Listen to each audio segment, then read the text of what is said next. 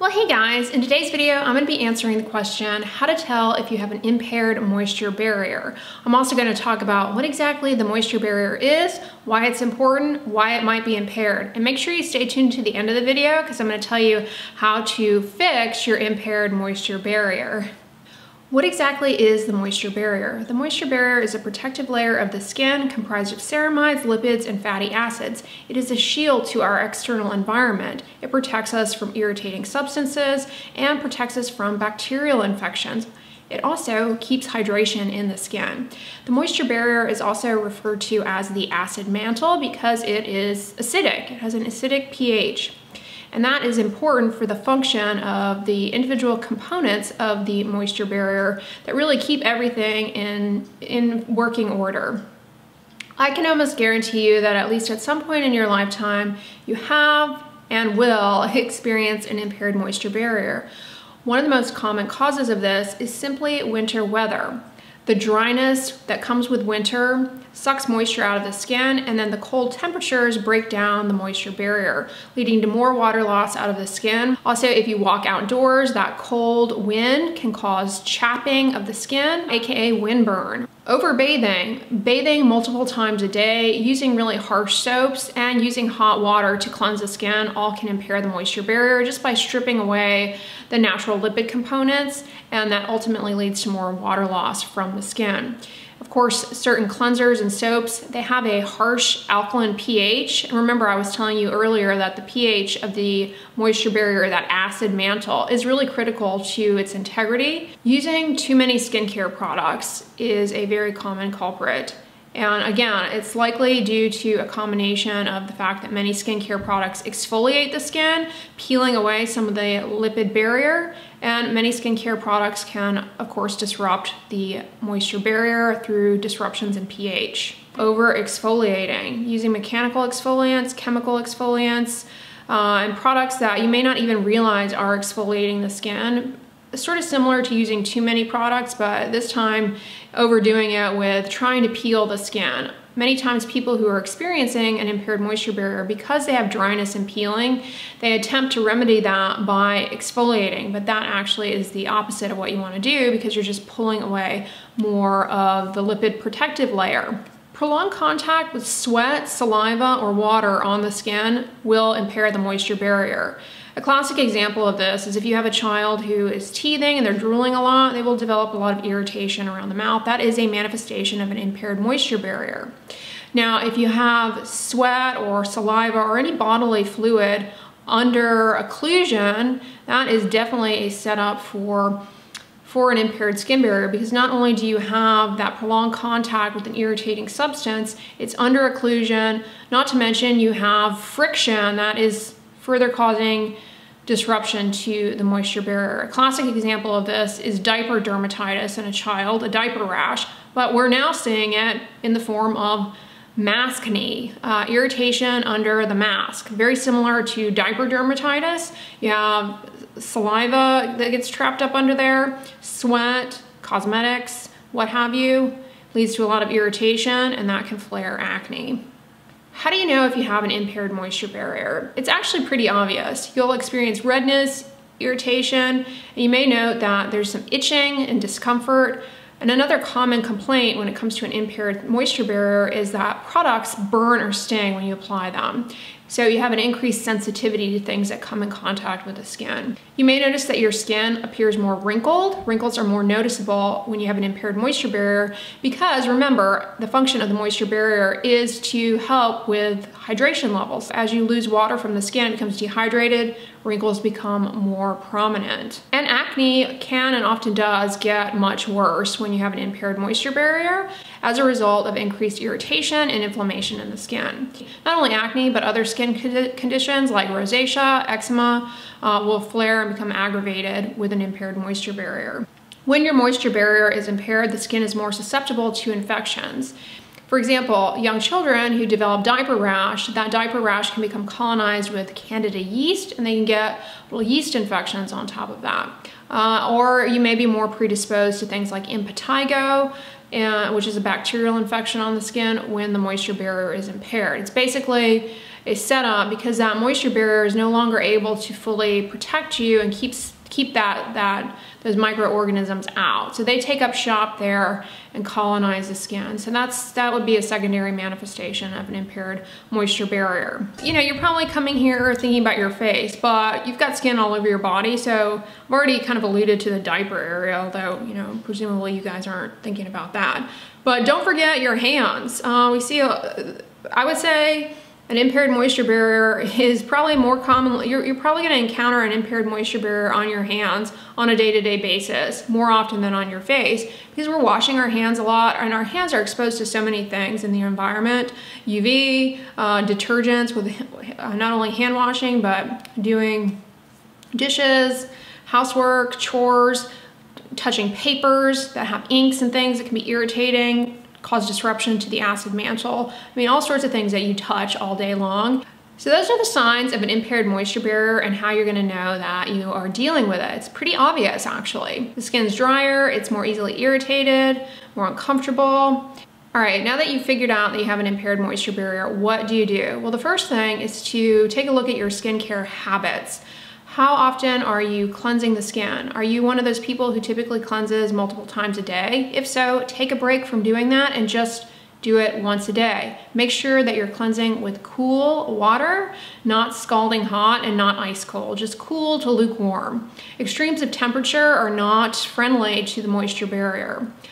And make sure that you choose a gentle cleanser. Don't use a, a cleanser intended to uh, you know, for oily skin, because those can be too drying in this situation. Even if you have oily skin at baseline, take a break from that. Choose a very gentle, kind of creamy, mild cleanser.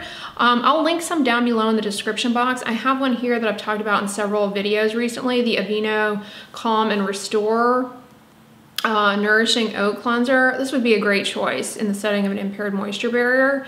And you know, if you don't find that this is the best cleanser for you all the time, because you like something that you know, is a little bit more intense, that's fine. This is a temporary situation. I mean, you can you can remedy this in a you know a few days actually. Um, so yeah, I would say switch over to that and more importantly, decrease the frequency. That's even more important. Decrease the frequency, make sure you're not scrubbing using an exfoliating pad or anything, just very gentle circular motion and rinse everything off in total. That's really important. Any cleanser left on the skin further can impair the moisture barrier. Minimize the number of products that you use. I always emphasize this regardless of if the moisture barrier is impaired or not, but it just keeps things simple and the more things that come in contact with the skin, the more opportunity there is for disrupting the skin pH and disrupting the acid mantle, ultimately leading to more water loss and irritation from the skin. So take a break from any serums, toners, Keep it very simple. Stick to a very gentle cleanser, a moisturizer, and a sunscreen. I will list some down below in the description box. So keep the products minimal. Now, coming back to products though, when it comes to an impaired moisture barrier, this is a time to enlist something that is more heavy duty than just an ordinary moisturizing lotion or even cream. Something that is really going to act as second skin a balm or an ointment. I have videos on my favorite balms and ointments. I will list some down below. But a product that always serves well in this situation is the La Roche-Posay Cicaplast Balm B5. This product is nice in that, like I said, it's, it's more, more occlusive than just a lotion or a cream. Uh, and it really puts the brakes on water loss. This product really puts the brakes on transepidermal water loss and will allow recovery of the moisture barrier, just kind of serving as second skin temporarily. It also has madecassoside in it, which is derived from centella, and that promotes healing, so it's really ideal for this situation. It's safe to use in children as well, uh, and you know, if you, for example, if you have a young child who's dealing with diaper dermatitis, it's something you might want to try out. Uh, you can put it all over the face, even if you have acne prone skin, do not fear this. As a matter of fact, you know, this is a great product, but in this situation, don't be afraid to just use uh, Vaseline, petroleum, petrolatum. The reason is that petrolatum is the number one best ingredient for reducing water loss out of the skin. And that's exactly what you need in this situation. It doesn't mean it has to be your everyday long-term moisturizer. You don't have to get on this slugging trend, which, you know, whatever. I mean, that's not necessary. This is to get you over the hump so that your skin can heal itself and then you know you can go back to your basic skincare routine. Uh, but don't be afraid to use petrolatum, aka Vaseline, or like the CeraVe healing ointment, something really greasy. Even if you have acne prone skin, you know, this is a situation where your skin needs help. Otherwise, the acne is gonna flare uh, regardless. So you really need to enlist something occlusive. A lot of people will think that they should use an oil in this situation. Uh, people are really fond of oils and, you know, making all these bold claims about different oils. But Petrolatum, tried and true for reducing transepidermal water loss. The reason oils are not particularly useful in this scenario is that they're mostly just emollients. Largely, they just soften dry skin cell edges. They don't really do the same extent of work that petrolatum will do in terms of reducing water loss out of the skin and helping ultimately with healing. I suggest going with a balm or an ointment, something occlusive. Ignore the oils. You know, they're not, they're really not going to get you over the hump. If part of your skincare routine includes an exfoliating acid, now's the time to take a break from it. This includes salicylic acid, alpha hydroxy acids, namely lactic and glycolic and mandelic. Not that these are bad, I love these ingredients, I use them, but they do exfoliate and this is a time where we don't want that on board. Uh, again, it's not a permanent thing, it's just a temporary break till things calm down. It's also a good idea to you know take a break from retinol or uh, prescription retinoids during this time. Again, it's not a permanent thing. No, it's not going to make the acne come back 10 times worse. No, when you resume, it's not going to cause purging and all of these things that people, you know, are unnecessarily worried about. It's just a short-term break so that your skin can recover or just a few days is really all it really only takes a few days for things to to start to turn a corner and then you can slowly get back to back to your usual routine. So those are some tips on products but don't forget one thing that can definitely help a lot when it comes to the function of your moisture barrier especially in winter time or if you live in a dry climate is to have a humidifier in the bedroom. I will list down below my favorite humidifier um, but this really can help by just increasing the ambient humidity. It really helps reduce those shifts in water out of the skin and can ultimately help in recovery of an impaired moisture barrier.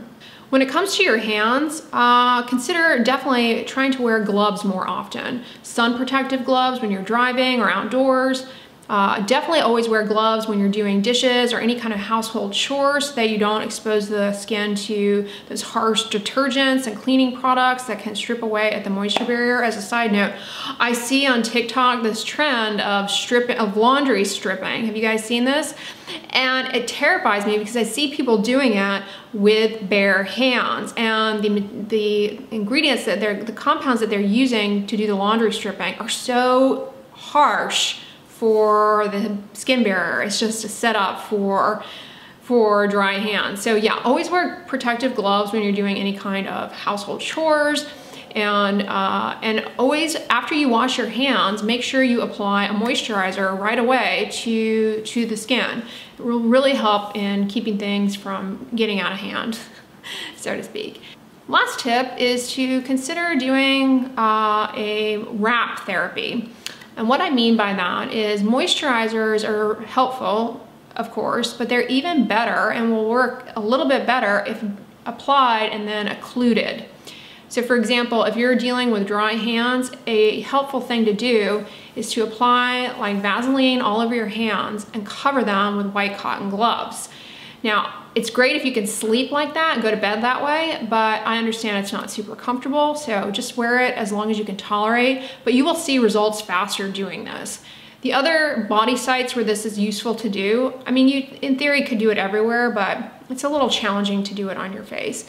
The other body site that you can do this on is like your extremities, your arms, your legs. The way to do it is to just grease up with, again, plain Vaseline, and then take saran wrap and wrap the area and hang out that way for a little while. I mean, you see in spas and salons these like fancy body wraps that you can get. You can do the same thing at home and get really good results in terms of quick remedy of dry irritated, inflamed skin by doing a similar thing with just saran wrap. Alternatively, you also can use some cotton pajamas like pants uh, just put them on right away after you put the uh, ointment on, you know, the Vaseline on. That too will just kind of help uh, lock that into the skin better. That way you don't have to wear, that way you don't have to do the saran wrap thing. Uh, so that's another thing that you can do. So hopefully that helped clarify what the moisture barrier is, why it might be impaired, why it's important, how to tell if it's impaired, and what to do about it. Remember, your moisture barrier, AKA the acid mantle, is critical for keeping bad stuff out and the good stuff, namely hydration in the skin. When the moisture barrier is impaired, that leads to dryness and dehydrated skin because it all comes down to the state of the moisture barrier. When the moisture barrier is not intact, your water retaining abilities in the skin are not very good and that's when the skin becomes dehydrated and that's when wrinkles become more noticeable but it's also dry skin as well so check the description box i will list some great uh, balms, ointments, gentle cleansers, sunscreens, and of course humidifier that can help as well as gloves uh, for dealing with dry hands. I hope this video was helpful to you guys. If you liked it, give it a thumbs up, share it with your friends, and as always, don't forget, sunscreen and subscribe. I'll talk to you guys tomorrow. Bye.